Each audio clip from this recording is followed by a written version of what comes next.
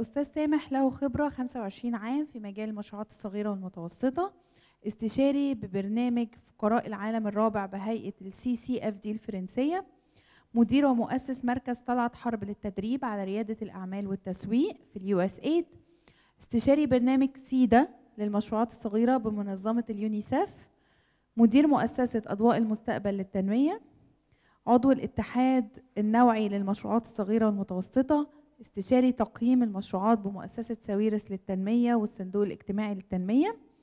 آه، أحد مؤسسي برنامج التدريب للتوظيف التابع للمعونة الأمريكية وأسس العديد من برامج القروض للمشروعات الصغيرة في الهيئات الدولية وهيئة كير وهيئة بلان وهيئة سيدا. رحبوا معايا بالأستاذ سامح إدوارد.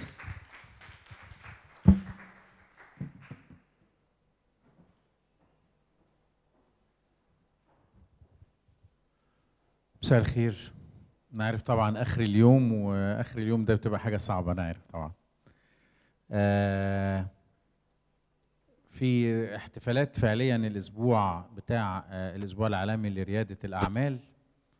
آه أنا أعتقد أنا بس النهارده هحب أشارككم كده يعني هنقدر نقول في إيه اسبرينا كده سريعة على آه ريادة الأعمال.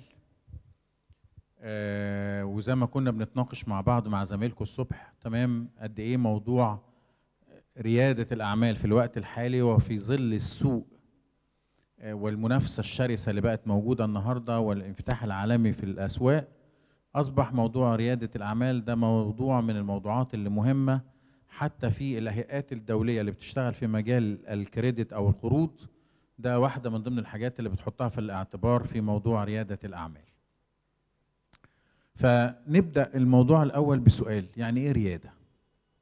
ده سؤال ليكو يعني إيه ريادة؟ كل الإيدين دي مرفوعة؟ ده حاجة كويسة جدا ممتاز. قائد. السبق. التميز. هم. إيه كمان؟ هم؟ الإيه؟ الفن. أوكي. الابتكار الإصرار حلو قوي إيه كمان؟ التفرد المشاركة. مم. إيه كمان؟ صبر. مم. بمناسبة الأستاذ حسين صبور مش كده؟ فكان عنده صبر فبقى صبور. تمام؟ هايل. إيه كمان؟ مش كده؟ طبعا. طيب تعالوا نشوف مع بعض. أنا هتعبك في حاجة. هتقعدي ورا على الكرسي اللي ورا وهت على الكمبيوتر بس عشان نقلب السلايد. ممكن؟ الموضوع بسيط. هت برضه هتتابع معايا. كده بس. بصي من هنا. ماشي؟ طيب. فنشوف كده مع بعض موضوع ريادة. طيب.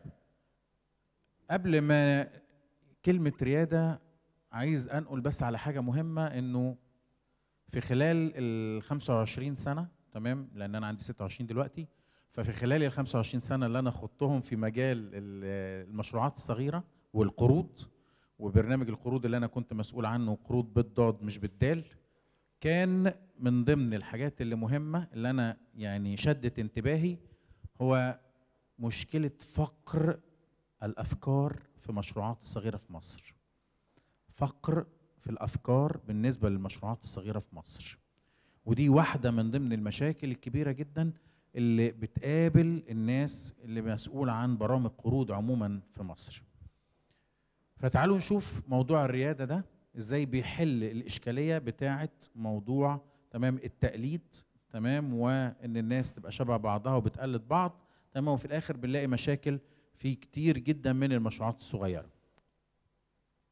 أول حرف في كلمة ريادة حرف الايه الره مش كده؟ طب الره دي إيه بقى؟ عشان أكون حد ريادي في المشروعات الصغيرة أول حاجة قال لك إيه؟ ريادة في الفكرة. ريادة في الفكرة. خلي بالكوا أهم وأغلى وأصعب جزء في المشاريع الصغيرة هي الفكرة. ومعظم رجال الأعمال اللي نجحوا بدأوا بفكرة. لأن أنا كتير جدا بنقابل شباب في برامج انطلاقة كمان دايما يقولوا لي مشكلتنا إيه مش من من أسوان لإسكندرية. إيه يا جماعة مشكلتكم؟ الفلوس. طب أنا هديكم فلوس دلوقتي إيه الجديد اللي أنتوا هتقدموه؟ فبنقف. فالمشكلة هنا ما بقتش فلوس. المشكلة هنا بقت مشكلة فكرة. إيجاد فكرة إبداعية جديدة تمام مش موجودة. هو ده الأساس والأغلى في أي مشروع صغير عايز أنا يبقى ليا ريادة فيه هو ده اللي أنا لازم أعمله. وده سبب نجاح أي دولة أو أي مشاريع أو أي شركات نجحت في السوق هو دايما تقديم الأفكار والفكر الجديد. الفكرة الجديدة. ماشي؟ حتى لو تطوير يعني حاجة قائمة وبطورها أنا برضو بعتبر ده جديد ده تجديد. فده جزء مهم جدا في إن أنا لو أنا عايز أخش في المجال ده لازم أسأل نفسي إيه الجديد اللي أنا هقدمه في السوق؟ مش كده؟ لما أجي أتكلم على مطاعم الفراخ في كام مطعم فراخ في مصر؟ مش كده؟ ما يتعدوش. لكن في كام مطعم كنتاكي في مصر؟ أو اسم كنتاكي. حوالين العالم مش في مصر كمان. والموضوع في إيه؟ هو فكرة. فكرة. كل الفكرة قائمة على الخلطة السرية. يعني تخيلوا شركة النهارده تقدر بالمليارات تمام آه، قايمة على الخلطة السرية. تعالوا كمان لشركة زي كوكولا أو بيبسي. حتى اللحظة اللي إحنا فيها دي قائمين على إنه الفكرة بتاعتهم الخلطة اللي بيعملوا بيها كوكولا أو بيبسي البودر الرئيسي وعشان كده كل المصانع اللي في العالم هي مصانع تعبئة. والخلطة بتجيلهم منين؟ من بره هي دي قيمة الفكرة. القيمة في الفكرة مش القيمة في الفلوس. القيمة الحقيقية في فكرة المشروع. فلو أنا من البداية مش هيكون عندي ريادة في الفكرة أعرف اللي جاي هيبقى صعب جدا. لما هيبقى عندي ريادة في الفكرة اللي جاي سهل. اللي بعد كده. آه هنقول دلوقتي هنقول. يعني هيجي في سياق الكلام دلوقتي. ريادة في التنفيذ. وأنا بنفذ لازم كمان يبقى التنفيذ على أصول على معايير على إن في سياسات في أنظمة بتحكم العمل. لما بتيجي تخشوا النهارده أي سلسلة من سلاسل كنتاكي اللي موجود في مصر هو اللي موجود فين؟ في السعودية هو اللي موجود فين؟ في أي حتة في أوروبا. فبقى في سياسات. النقطة اللي بعد كده ريادة في النجاح. إنه لا أتوقف إنه خلاص أنا دخلت السوق وعندي فكرة متميزة لكن لو تلاحظوا إن كل شوية الأسماء دي بتعمل إيه؟ تجديد. تطوير إدخال جديد تمام؟ عشان تظل محتفظة بالمكانة اللي أوجدتها لنفسها في السوق. ماشي؟ فده جزء مهم جدا. فكل دي أسئلة لازم أسأل نفسي قبل ما أخش في مجال إن أنا هخش على مشروع فكر فيه. سؤال مهم جدا. إيه الجديد اللي أنا هقدمه للناس؟ ما هو المختلف اللي أنا هقدمه للناس؟ مش كده؟ وإلا الناس هتسيب كل الناس دي وتيجي ليك انت بالذات ليه؟ مش كده؟ ده مهم. لازم أفكر طول الوقت في المبدأ ده. نيكست. حرف الياء. الابتكار. لازم يكون عندي ابتكار في المشروع بقى. إيه اللي هتبتكره في الخدمة أو في المشروع بتاعك؟ أنت هتقدم إيه؟ إيه الجديد إيه المختلف تمام؟ اللي هتقدمه للناس. فالابتكار لو تلاحظوا إنه مرتبط مرتبط بالناس بالعميل. وخلي بالكم إحنا من الدول التي لا تحترم العميل عشان نبقى صراحة. مش كده؟ حتى في القطاع العام عندنا شلنا يافطه العميل دائما على حق اللي هي أصول تسويق. شلناها. وبالتالي العميل راح مننا ما بقاش يجي. فاحترامك للعميل ده جزء أساسي في نجاحك. فأنت بتبتكر مش عشان المشروع بتاعك ينجح أنت بتبتكر عشان العميل كله لصالح العميل. اللي جاي كله برضو مرتبط بالعميل. التميز. التميز في الخدمة. التميز في المكان اللي أنا بقدم فيه السلعة.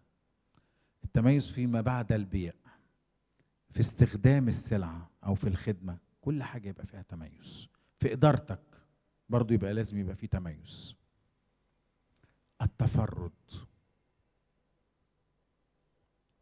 كل ما هتتفرد بالحاجة اللي انت بتعملها هتضمن طول الوقت وجودك في السوق.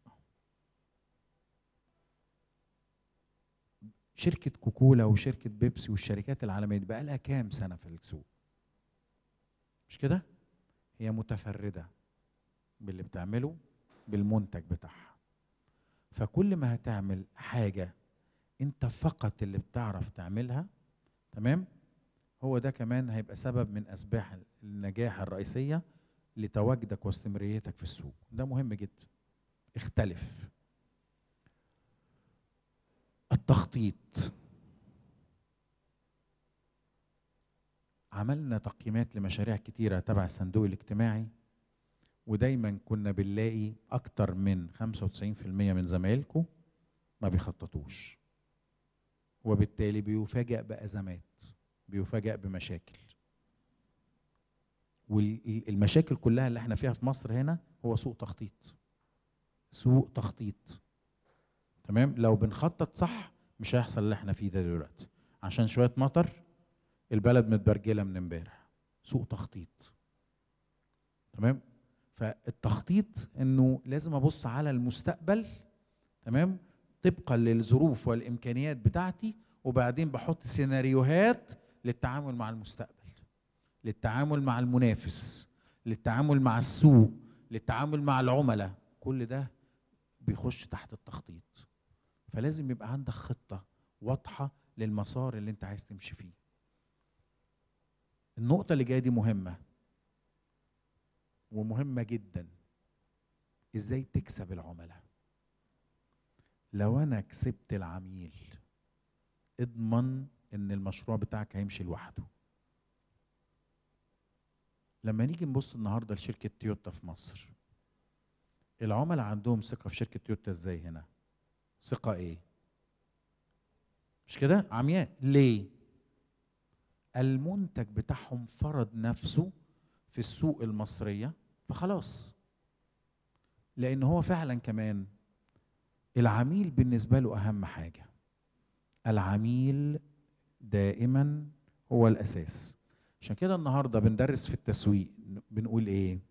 العميل يدير المنظمة. العميل يدير المشروع. أنا المشروع بتاعي موجود عشان إيه؟ عشان أخدم العميل.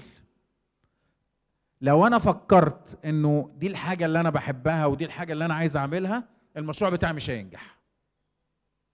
لكن لو أنا فكرت وده الاختلاف بقى بيننا وبين الناس التانية إنه العملاء عايزين إيه؟ العملاء بيفكروا في إيه؟ مش كده؟ لما نيجي نقول النهارده السيدات في مصر إنه بكرة في غسالة فوق الأوتوماتيك نازلة الغسيل طالع منها مكوي. إيه اللي هيحصل؟ هتتاخد هوا. مش كده؟ طيران. خاصة كمان لو قالوا لهم إن في option كمان يكووا الأزواج. تمام؟ فهتبقى كمان ماشية نار.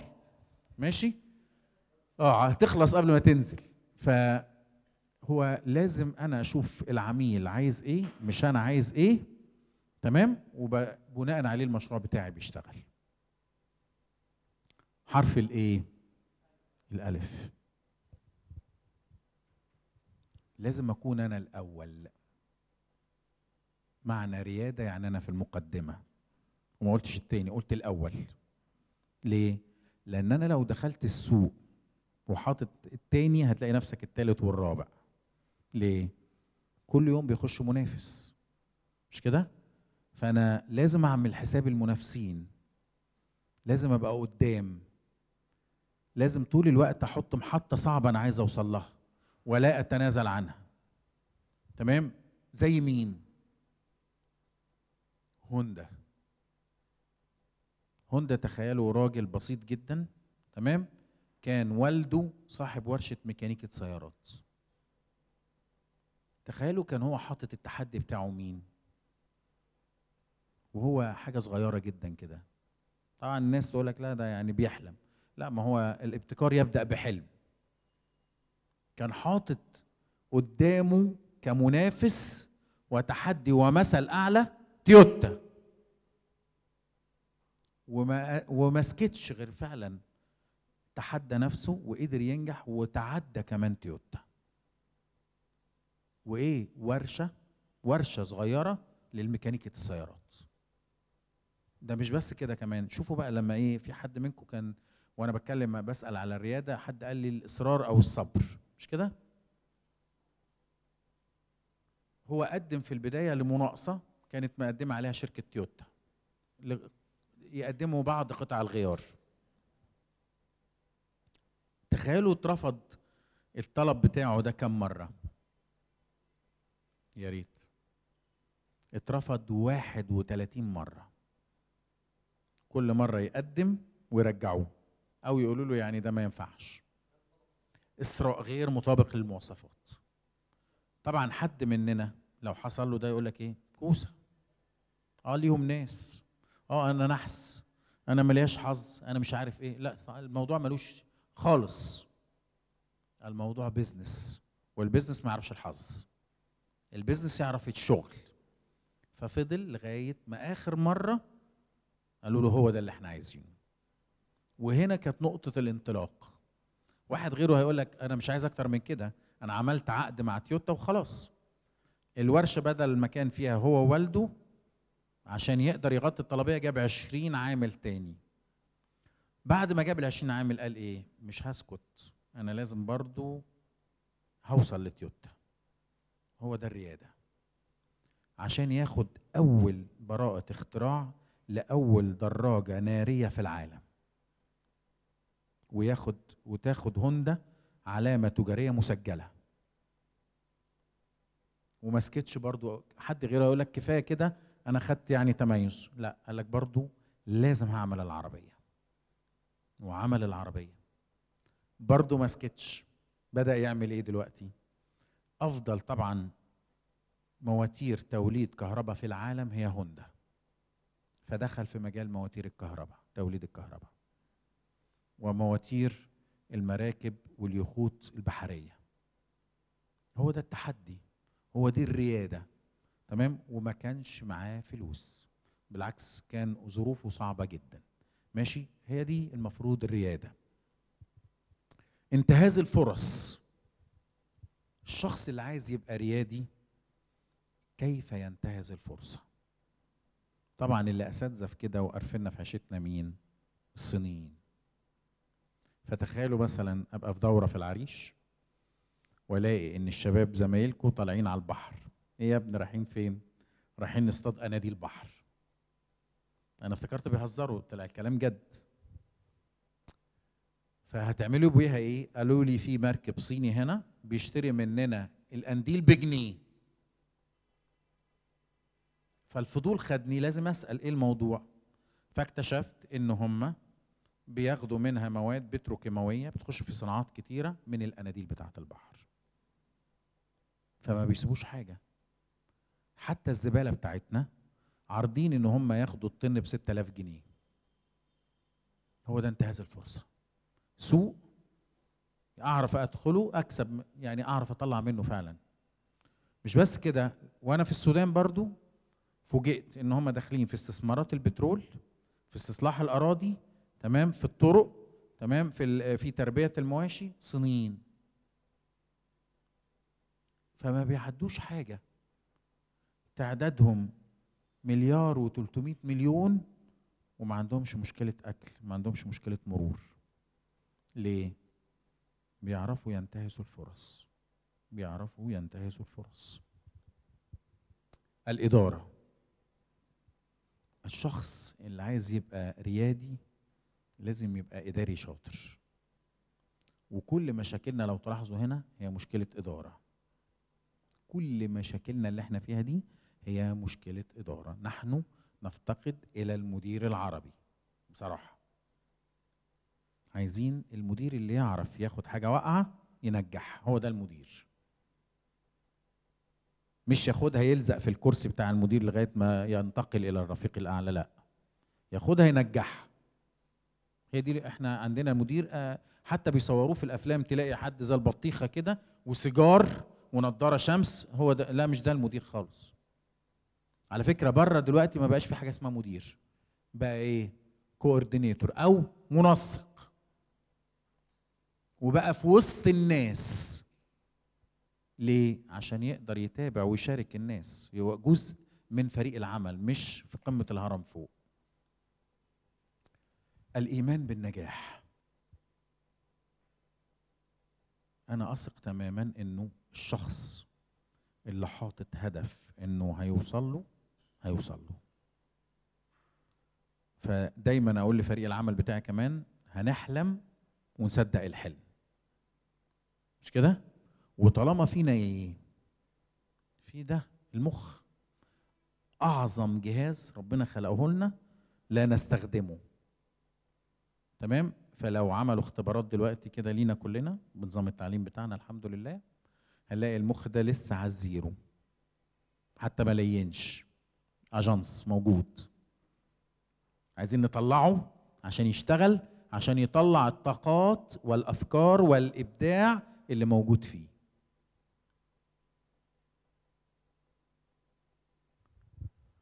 فلازم نبقى مؤمنين إن إحنا هننجح.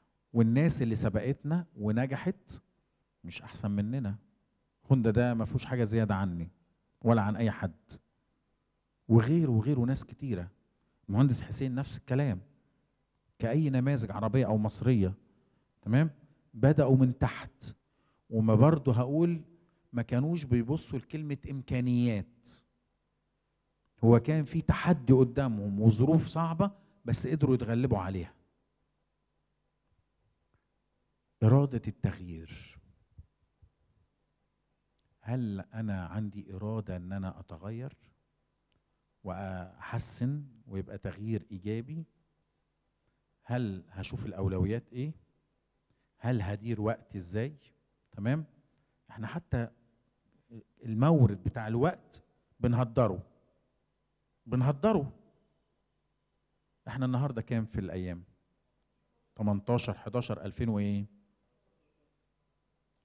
لو بعد شهر حد يقدر يجيب لي 18 11 2013 مستحيل مش كده؟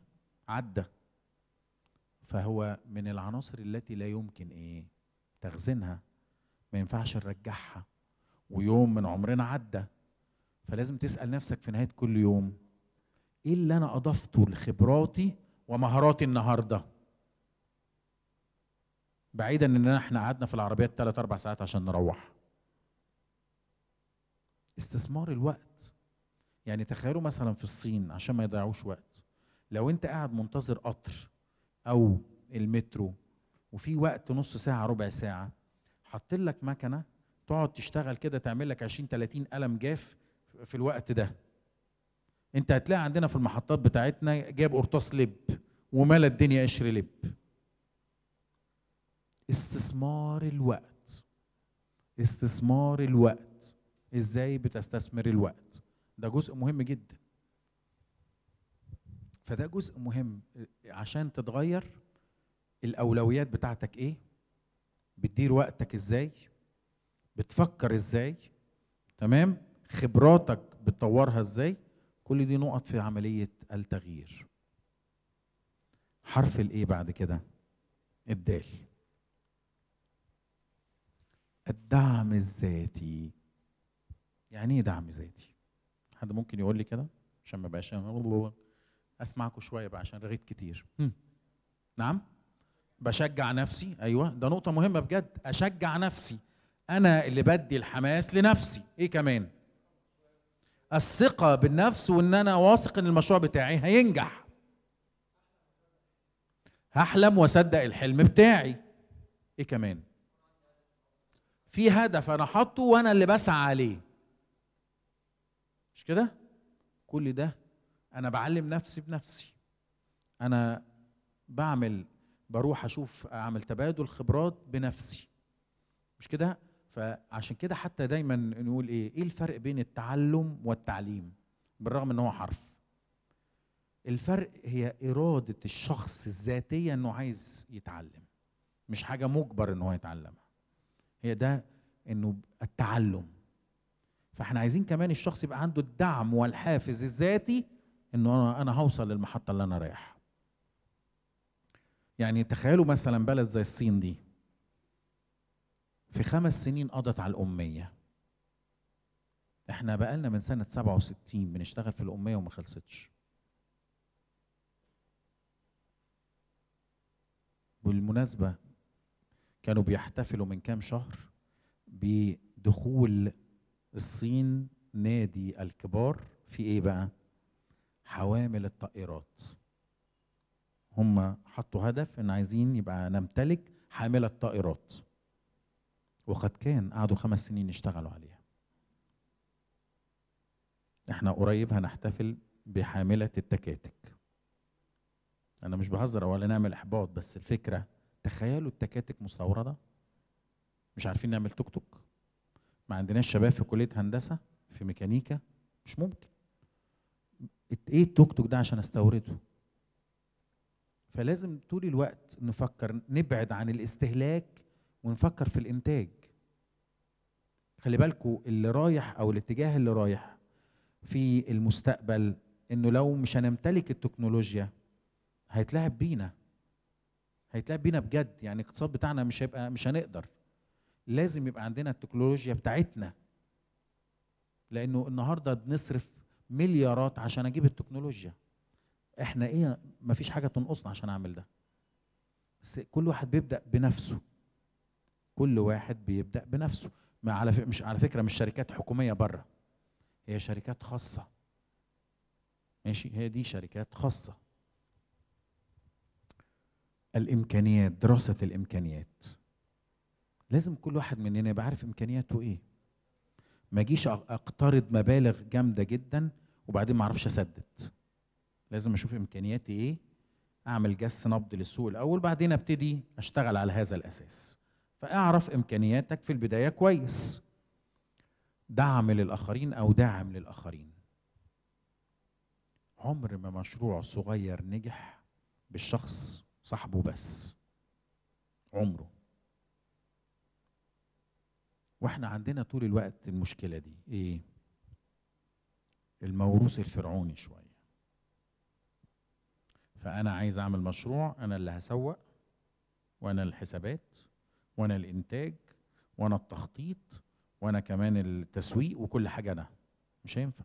عمرك ما هتكبر. حاجات هتقع منك. فلازم تدعم اللي حواليك. وتبني فريق عشان تكبر. لازم تكبر عشان تكبر كمان مشروعك يكبر. ده مبدأ مهم جدا في الإدارة بتاع المشاريع. من غير م... من غير ما يبقى معاك فريق مش هتنجح. يعني كل مشاريع الصين قايمة إنه لما تيجي تلاقي مثلا مصنع صغير بيعمل قمصان رجالي. هنا عندنا في المشاريع بتاع الصندوق هتلاقي واحد اللي بيعمل القميص من الياء ألف إلى الياء. لا بره مش هتلاقي كده يمكن تلاقي سبع ثمان مشاريع للقميص. إزاي؟ واحد بيعمل بس الياقه فهتطلع الياقه شكلها إيه؟ مظبوطة. واحد بيعمل أساور القميص. واحد بيقص. واحد بيختار القماش. واحد بيختار الموديلات. واحد للتغليف. وواحد للتسويق. وواحد للتصدير. فتلاقي ما نافسناش بعض. ساعدنا بعض والكواليتي طلع عالي جدا والتكلفة أقل. الديمقراطية. هنا بعيدا عن السياسة الديمقراطية في الإدارة.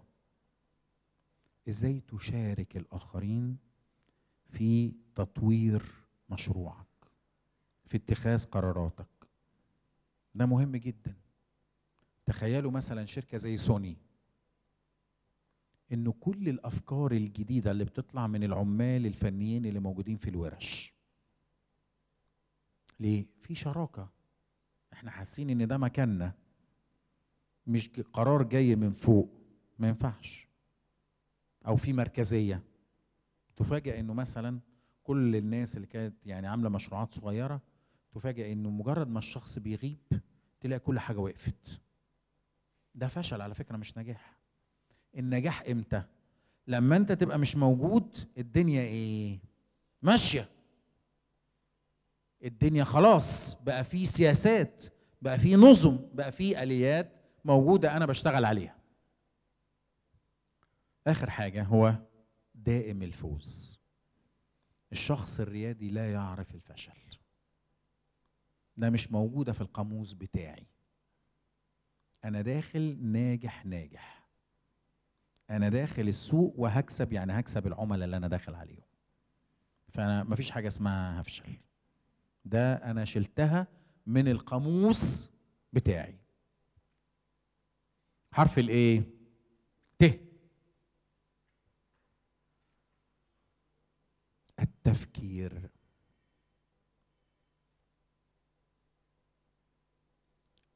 أزمة نظامنا التعليمي إن هو خلانا إيه؟ نحفظ ما نفهمش مش كده؟ وبالتالي ما خلاش قدرات التفكير عندنا عالية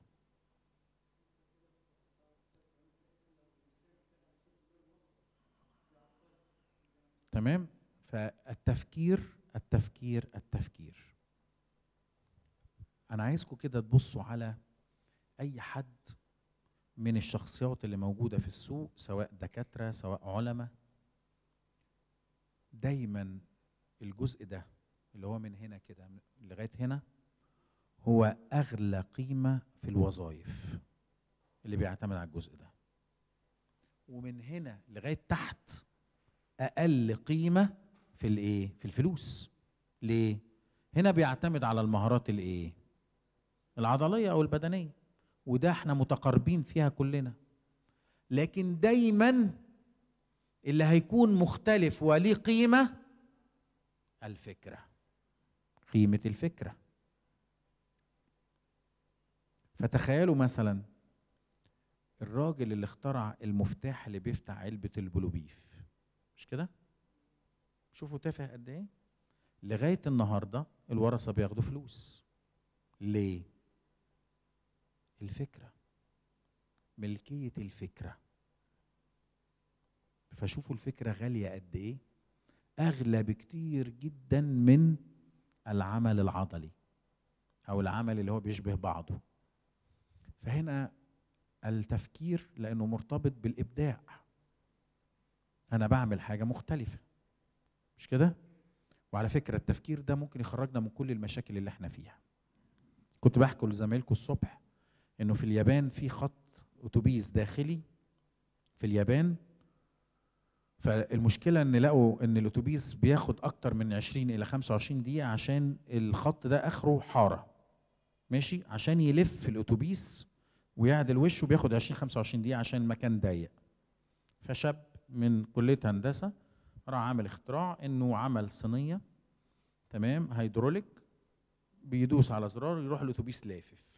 وهو واقف فيروح وشه معدول الناحية التانية. وقال لك إيه بقى؟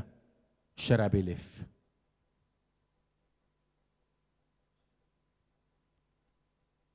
هنا هيقول لك إحنا شاربين حاجة. لو الشارع لف معانا. مش كده؟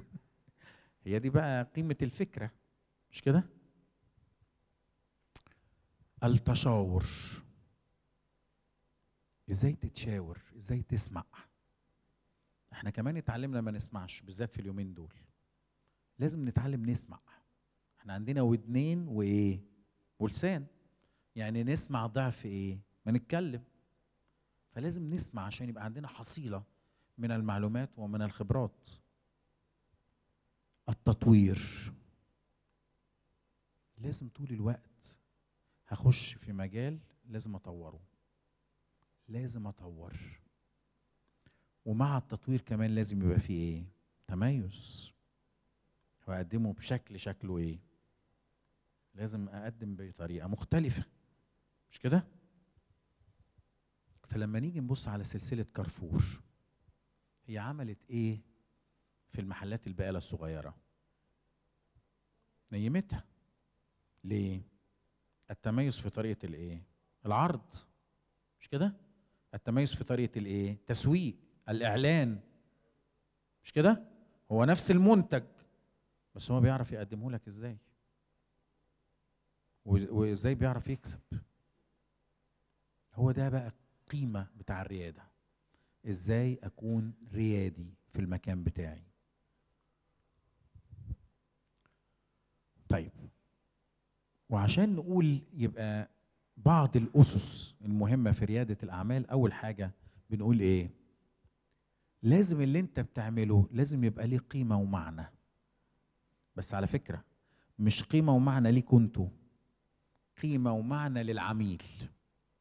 قيمة ومعنى للعميل. مش كده؟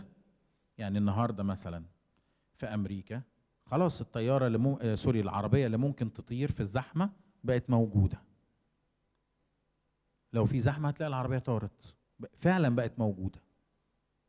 هل ده يمثل قيمة ولا لا؟ ومعنى. لازم دي مهما كانت غالية الناس هتشتريها ولا لا؟ هتشتريها. فهو بيفكر في العميل. بيفكر في العميل. ودي هرجع تاني أقول لكم إيه؟ قيمة التكنولوجيا.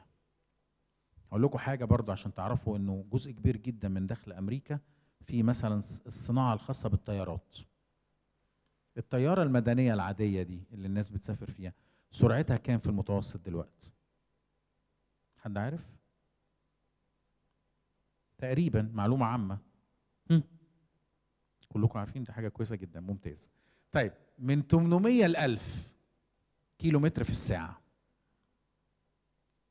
أنا شفت تقرير لوكالة ناسا بتعمل طيارة وشبه خلاص في ال... يعني أنا شفت حتى شكلها بس شالوها بعد كده من على النت. الطيارة دي هتنزل سنة 2025 يعني بعد كام سنة؟ تقريبا 12 سنة مش كده؟ عارفين الطيارة دي هتبقى سرعتها كام؟ 10000 كيلو متر في الساعة.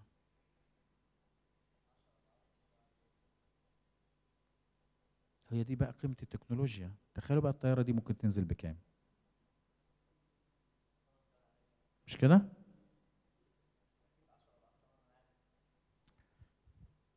هي دي الريادة. هو ده الريادة. عشان أكون في بداية السوق بتاعي. الهدف بتاع المشروع لازم يكون مش شخصي. يعني إيه مش شخصي؟ ما تفكرش في المكسب دلوقتي فكر في النجاح. والنجاح هيكون المعيار بتاعه رضا العميل عن المنتج بتاعك. رضا العميل عن المنتج بتاعك. مش كده؟ كام نوع شاي مصري نزل في السوق؟ كتير جدا وفي أسماء مش موجودة دلوقتي البراد الأزرق والوردة ومش عارف إيه وإيه وإيه وإيه وانتهت. مش كده؟ وكده أوكي و و و الكلام ده. طيب. في نوع طول الوقت ما بينزلش يعني ما بيقلش عن مستواه في السوق. لبته لبته ليه؟ محتفظ بجودته. إحنا عندنا مجرد ما الحاجة تبتدي تمشي شوية فيروح يبتدي يلعب في إيه؟ في الخامة عشان أكسب. بس هو مش واخد باله هتكسب النهارده شوية بس بكرة أنت هتخسر وهتقفل وده اللي بيحصل. أنا ما عنديش رؤية استراتيجية إن هكسب شوية حتى ولو قليل بس على المدى البعيد أنا هكسح السوق. فمش بنفكر في المستقبل مش بنعرف. بنستعجل الربح. فاعرف انت وجودك في السوق مرتبط بالعميل. سأقدم ده ده الشخص بقى اللي بيفكر بريادة. سأقدم ما إيه؟ ما يحسن ظروف معيشة الناس. أنا دايما هفكر أقدم حاجات للناس الناس تعبانة منها. فتخيلوا أي شاب مصري النهاردة يبتكر لنا أي حاجة لحل مشكلة المرور. إيه اللي هيحصل؟ كل الناس هتجري وراه لأنه عايز يحسن وعايز يطور. مش كده؟ فده يا سلام يا ده حاجة هاي هايلة جدا. فده من ضمن الحاجات اللي لازم نفكر فيها. فأنا دايما بقول إيه؟ كوكب اليابان برضو من ضمن الحاجات عشان يحلوا بيها الزحمة. عملوا حاجة زي المترو بس هو ترول كبير قوي تمام؟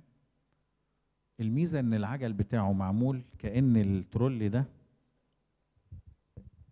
أو الباص ده يعني لو هو ده أتوبيس مثلا افترض ده الأتوبيس معلش رسمي أي, كلام تمام؟ العجل مستخبي هنا تمام؟ لكن الأتوبيس ده ممكن العربيات تعدي من تحتيه وهو ماشي مفيش أي مشكلة لأنه ارتفاعه تمام؟ عشان ما يعملش مشكلة أو أزمة في المرور. وفي حساسات لو العربية قربت تلاقي زي إنذارات اشتغلت عشان ما ياخدش مكانه وهو ماشي. ده غير القطارات اللي عندهم اللي ماشية بالمغناطيس أو اللي ماشية على مخدة مغناطيسية وغير وغير. هي كلها عشان تحسين الظروف المعيشية للناس. إيه كمان؟ لازم أقول إن أنا هقدم فرص عمل جديدة. النهارده كل هيئات القروض إحنا بنبص وإحنا بنراجع بعض الدراسات الجدوى على حاجة مهمة جدا. المشروع ده هيقدم كام فرصة عمل؟ ده مهم إن مشروعك يبقى ليه دور في خلق فرص عمل في السوق. ده برضو من ضمن الحاجات اللي مهمة. سأجعل العالم مكانا أفضل للعيش. أنا المنتج بتاعي أو الخدمة بتاعتي هتخلي الناس خلاص بتعيش أفضل. فتخيلوا النهارده من غير النت إيه اللي هيحصل؟ مش كده؟ خلاص. مع العلم لو رجعنا من عشر سنين ورا. يعني ده اللي كان عنده نت ده يقول لك آه يعني آه أنا عندي نت.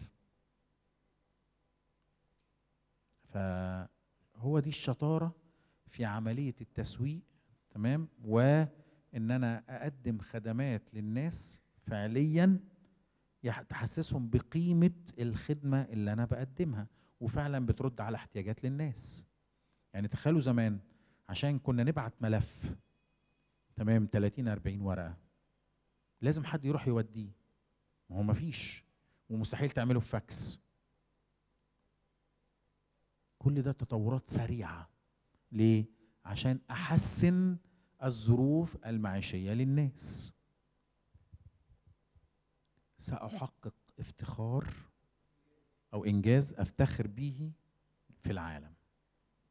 أنا هبقى مفتخر بنفسي. تمام؟ مش عشان أنا قصير قزع أنا طويل وهبل لا. مش كده؟ لكن إيه الإنجاز اللي أنا هعمله؟ هعمل حاجة الناس العالم يتكلم عنها. فأنا مش هرضى بحاجة صغيرة. مش أحمد زويل ده متربي هنا؟ لكن إيه؟ أصبح علامة إيه؟ مميزة في التاريخ. فالنهاردة أصبح إيه؟ العالم بيفتخر بيه مش مصر بس. ليه؟ هو صمم إنه يقدم حاجة مميزة حاجة مختلفة. فأصبح النهارده القعدة مع الدكتور أحمد بفلوس. مش كده؟ فاعرفوا ده دايما مع الخبرة ومع المجهود ومع الابتكار اللي انت بتعمله. القعدة معاك بعد شوية هتبقى بفلوس. الناس هتحب تروح لأي حد ليه؟ عايزاه في إيه؟ مش عشان الخبرة؟ مش كده؟ عشان علمه؟ هي دي الحاجات اللي ممكن تشد الناس للشخص. امال الناس هتجيلك ليه؟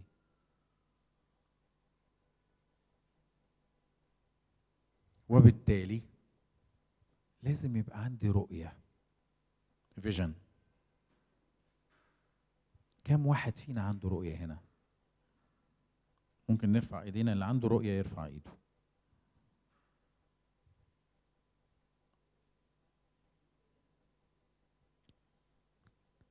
رؤية. رؤية للمستقبل البعيد. أنا عايز أبقى إيه؟ أنا عايز أكون إيه؟ أنا راسم لنفسي بعد 15 سنة إن شاء الله. تمام؟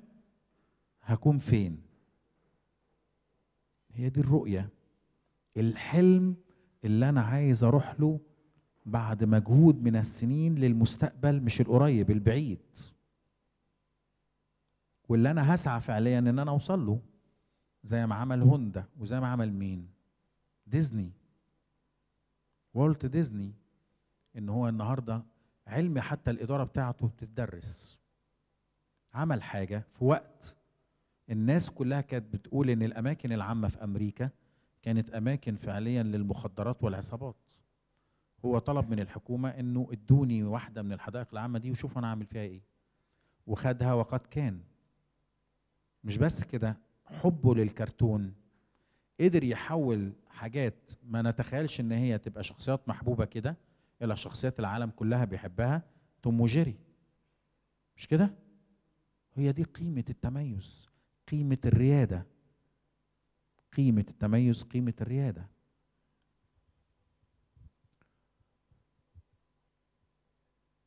عشان كده بقول إنه لازم نتعلم نحلم.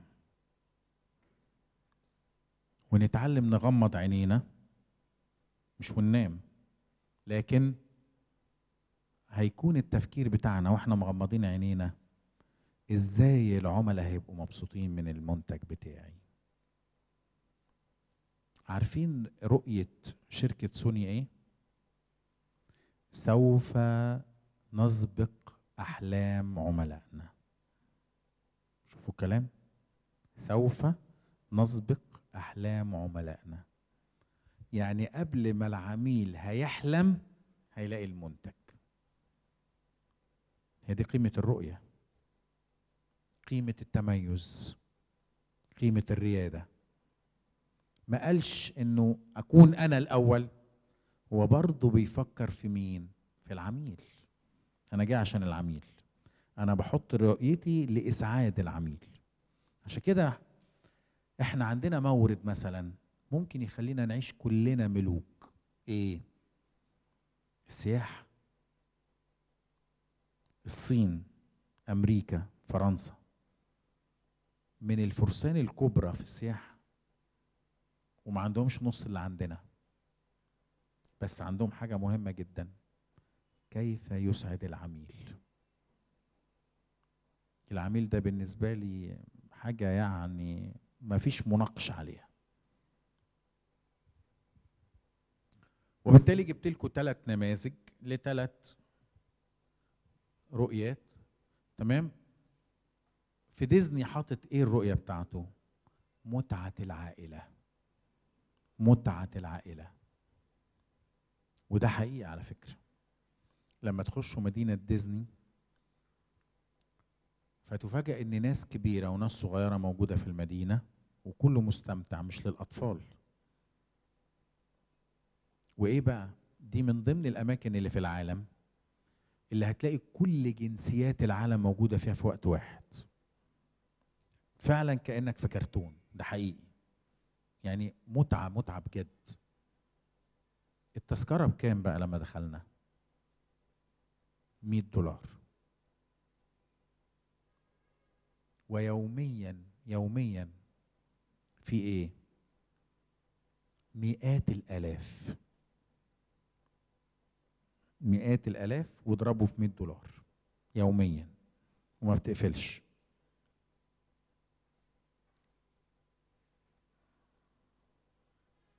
قيمة الريادة. طيب في أديداس قالوا إيه؟ الأداء الرياضي الأصيل. بص ربط الأداء الرياضي الأصيل. الناس بتاعت زمان محمد علي كلاي بيليه الناس دي الأصالة في الرياضة. بالظبط والفخامة. سوني سوف نسبق أحلام عملائنا. أعظم كاميرات أعظم استوديوهات في العالم سوني. في كل تلفزيونات العالم. التميز اللي بيقدمه لأنه فعلا طول الوقت سابق كل الشركات اللي حواليه بخطوات بمراحل. عشان كده بقول إيه إحنا كلامنا كتير مش كده؟ بنتكلم كتير. أنا هعمل. أنا بس اخلص أنا بس اخلص جيش. وهعمل. وهسوي. وبعدين تلاقي بقينا بطة بلدي. سوري. إحنا مش عايزين كلام. في الريادة ما بينفعش الكلام. الريادة فعل. الريادة حركة. لازم تتحرك. هي دي قيمة الريادة. فخلوا كلامنا قليل وفعلنا أكتر. اتعلموا كلامك يبقى قليل والفعل أكتر. حتى في interview بتعمل في إيه interview في شركة. اتعلم يبقى كلامك قليل ومحدد وفي الموضوع. إحنا نتعود لما نقعد في حتة ونتكلم يسألونا على حاجة مش هقول له الموضوع على طول نعمل إيه؟ أنا سميتها كده نعمله كنافة. أخده وأوديه وأجيبه وألفلفه يكون الراجل نسي السؤال. باظت الانترفيو. خش في الموضوع. خش خليك محدد. خليك واضح.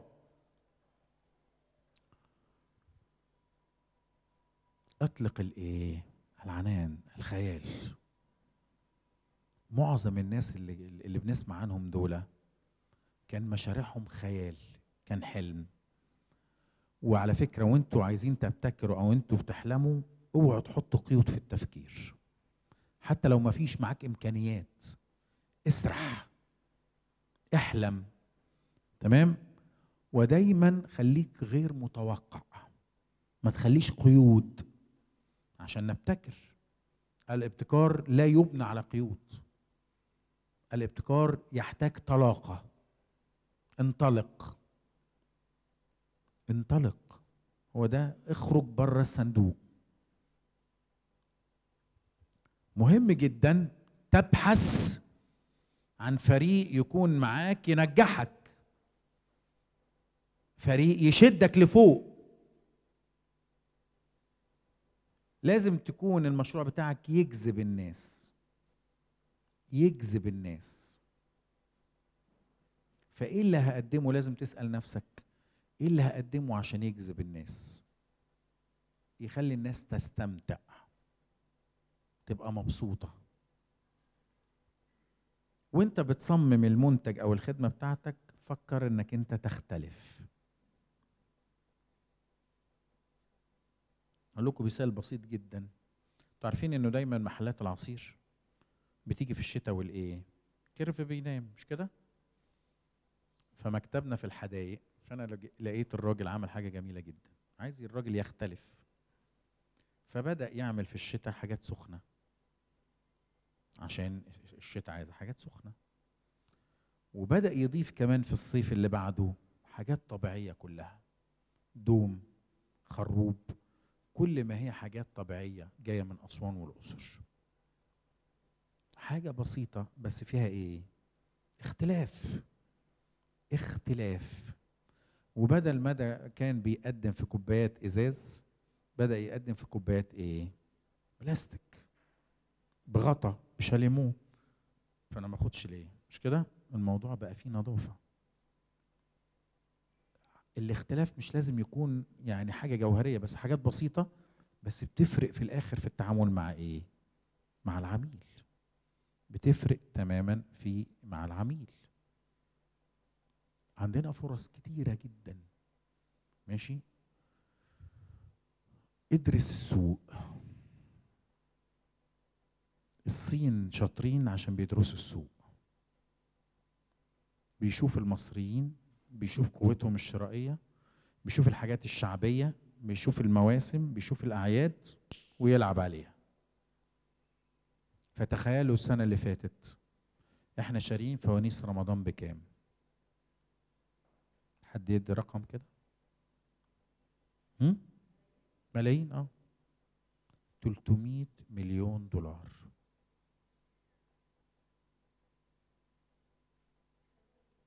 بالظبط إحنا بلد الفوانيس. فإحنا بنعمل في نفسنا حاجات. شوفي ال 300 مليون دولار دي كانوا ممكن يخلقوا كام فرصة عمل. لو إحنا بنطور في صناعة زي صناعة الفوانيس. المفاجأة اللي كانت بالنسبة لي إن أنا كنت قاعد مع مجموعة صيادين عشان عايزين يعملوا نقابة في أسوان. أنا بصراحة رجعت حزنان. ليه؟ إنه تخيلوا حتى في الصيد لم نطور صناعة الصيد في مصر من أيام الفراعنة. هي نفس المركب ونفس الشبك. مستحيل. ما ينفعش. عندنا كم المية دي وكم ال ال الشواطئ اللي موجودة دي بنستورد سمك. ليه؟ لأن إحنا مش بنطور هذه الصناعة. حتى في الزراعة على فكرة. الزراعة بتاعتنا تقريبا ما اتطورتش. إحنا بوظناها. لم تتطور. ماشي؟ فلازم نتعلم ندرس الأسواق. تخيلوا في مصر. في سوق. ممكن لو أنتوا كلكم كده دخلتوا فيه ما تغطوهوش. إيه السوق ده؟ سوق الأدوات المكتبية. تصنيع أدوات مكتبية. إحنا عندنا سنويا كام تلميذ وتلميذة؟ 26 مليون. من أولى ابتدائي الرابعه جامعة. معظم الأدوات المكتبية بتاعتنا إيه؟ مستوردة. تركي إندونيسي صيني ألماني. إيه ده؟ مع العلم إن في بعض الحاجات المكن بتاعها عبارة عن مكن مشروعات صغيرة. سهل جدا. بس ما حدش بيحاول. لو أنا شغلت دماغي وفي نفس الوقت درست السوق هعمل قلبانات الأستيكة تخ- تخيلوا أستيكة مستوردينها. حتى الصمغ الصمغ بنستورده؟ مش ممكن. آه الصمغ عربي وجاي من الصين. طيب ده, ده تعالى الأدهى بقى. الأقصر وأسوان لما تنزل دلوقتي تلاقي إيه؟ كل التماثيل الفرعونية بتاعتنا ميد ان شاينا فشويه هتلاقي بدل ما كان رمسيس طويل قصر وبقت عينيه ضيقة. وبوظوا ملامح. وشه بقى صيني مع العلم كل الخامات والجرانيت موجود في أسوان والأقصر. بس فوجئت إن حتى ما فيش مدرسة لأن هي تطور هذه الحرف والمهن اللي بدأت تندثر. وبدأت الصين تاخد ده مننا. إزاي يعني؟ بأي منطق؟ آه كل حاجة. لازم يبقى عندك business model أنا عارف إن عشان ما نطولش خلاص آخر حاجة. business model إيه ال business model ده؟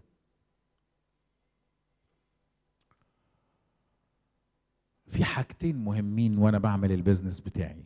إيه؟ لازم أفكر في حاجة.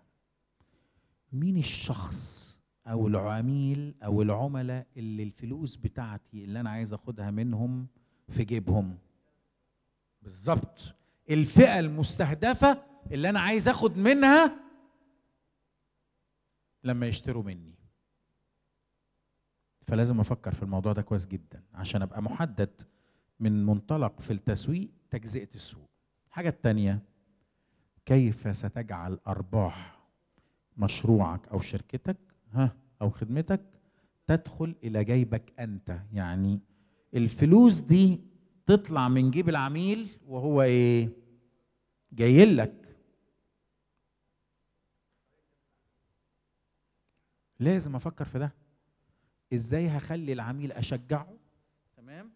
أشجعه عشان يقدر فعليا يدفع. وبالتالي بسرعة بقى.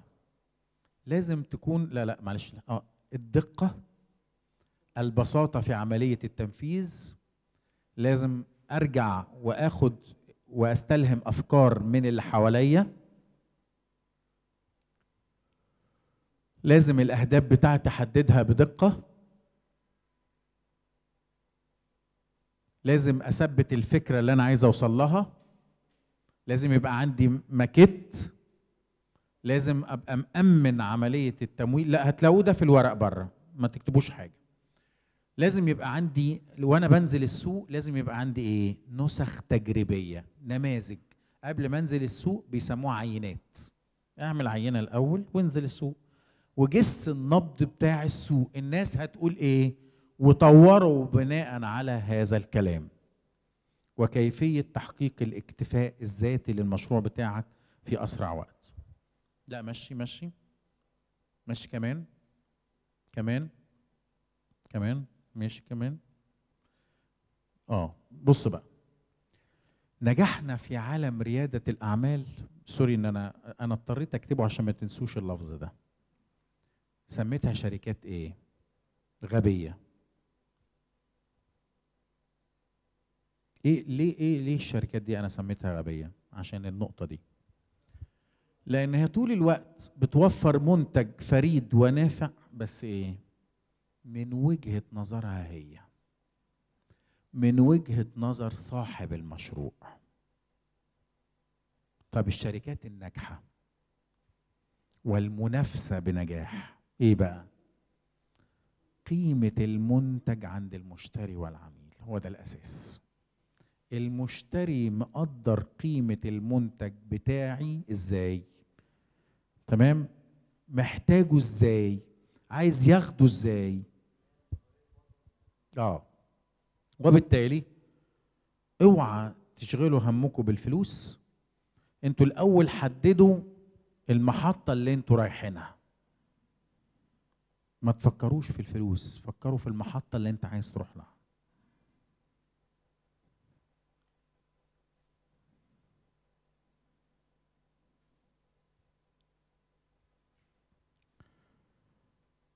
وبالتالي لازم فعليا نحدد إلى أين أريد أن أذهب عشان تقدر تحدد الوسيلة اللي أنت رايحها.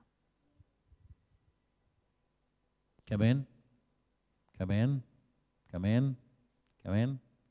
بسرعة. امم طيب. مارك ده زوجربيرج ده. ده هذا الشخص اللي عمل إيه؟ صمم الفيسبوك. شوفوا بقى اولا الصحافة العالمية أطلقت عليه قائد الشباب على مستوى العالم. الموقع تم تقديره من ثلاث سنين بكام؟ 15 بليون دولار أمريكي. آه طبعا طبعا طبعا عدى. ماشي؟ عشان كده أنا أنا هختم بالجزء ده اللي هو هي دي الريادة. وهو ده النجاح. وهو ده التحدي. تمام؟ وعشان كده إيه اللي ناقصنا عشان ننجح؟ ولا حاجة. إحنا ناقصنا بس حاجة مهمة. الإرادة والدراسة. لو عندنا إرادة بندرس الحاجة اللي هنعملها كويس عندنا ثقة بنفسنا كويس. طول الوقت نثق إن إحنا هننجح هننجح. وأنا شايف قدامي وجوه كلها أعلى من الراجل ده. وبكرة هشوفكم في مشاريعكم. صدعتكم وشكرا. ميرسي. شكرا.